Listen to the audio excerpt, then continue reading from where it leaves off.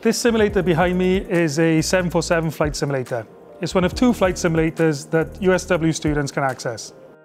Okay, Jana, are you ready for your Boeing 747 flight experience today? You're going to help me with the startup procedure, okay? So at the moment, we've got our cockpit is cold and dark, so this means no, there's no power on.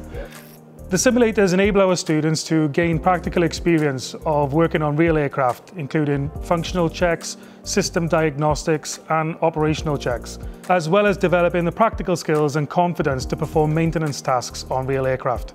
Battery on, that's going to bring our indication up. We're going to make sure there's power going to all of our various systems. So we're going to be taking off down the runway, okay. out over Cardiff Bay, and we'll get up to a nice high altitude. They also enable our students to become familiar with the flight deck and the various instruments and controls used in aircraft maintenance, replicating the environment in which they perform maintenance tasks that require access to the onboard instrumentation.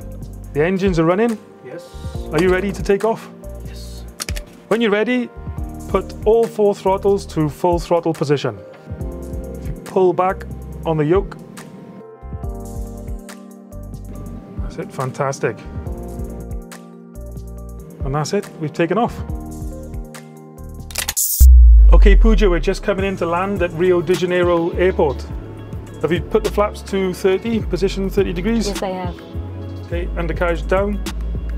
Down. If we just throttle back. Fantastic.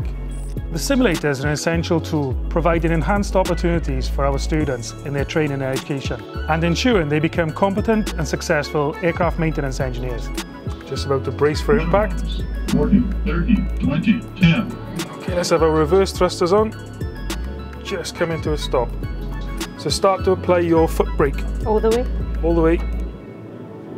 What a smooth landing. Well done.